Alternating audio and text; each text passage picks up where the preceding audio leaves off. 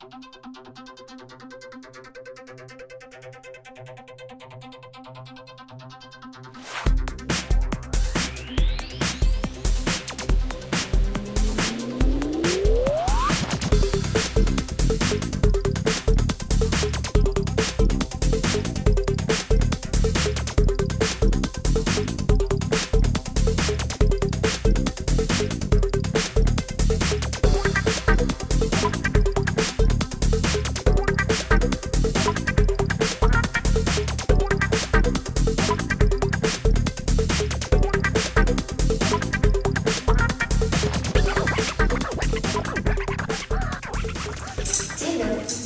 Uczennicami Gimnazjum nr 6 Szkoły Podstawowej nr 13 w Zawierciu i realizujemy projekt Betweening Cyber Discovery.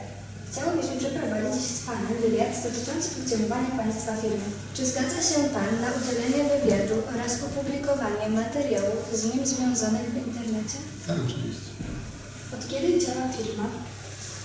Chyba działa od e, prawie 12 lat, 2002 roku. Co produkuje się w Państwa firmie? Nasza firma projektuje i wytwarza e, systemy aluminiowe, które służą do, e, do produkowania okien, drzwi, fasad, gany, przeszkód okiennych drzwiowych. Ilu pracowników zatrudnionych jest w firmie? W chwili obecnej zatrudniamy 230 osób. Czy produkcja trafia na rynek krajowy czy zagraniczny? E, W 30% trafia na rynek zagraniczny ten udział stale rośnie. W związku z tym w perspektywie e, szacujemy, że to być nawet 50%. Jakie są dalsze perspektywy rozwojowe Państwa firmy? Uważamy, że duże, ponieważ ponieważ branża, w której funkcjonujemy jest, e, mm, e, jest obecnie w stagnacji. E, Natomiast wiele, wiele projektów, które, które realizujemy są nastawione na, na nowe, innowacyjne rozwiązania i one powinny dać w niedługiej przyszłości bardzo duży wzrost. Czy moglibyśmy zobaczyć proces technologiczny produkowania wyrobów? Tak, oczywiście zapraszamy.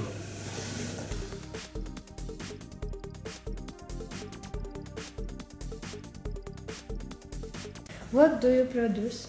We produce aluminium systems for aluminium clad windows and uh, systems for aluminium doors and windows. Where do you export your goods? We export our goods to uh, the European Union, Union, to Germany, Czech Republic, uh, also the United Kingdom and the United States. What is the level of computerization of the production? Choose the approximate number 10%, 25%, 50%, 75%, or more.